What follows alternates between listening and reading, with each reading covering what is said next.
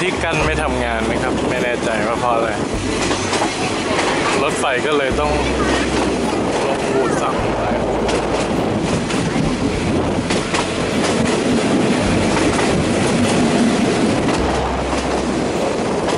น่าจะเป็นที่กั้นไม่ทำงานนะก็เลยต้องบูดเตือนระวังรถ ให้รถระวังรถไฟ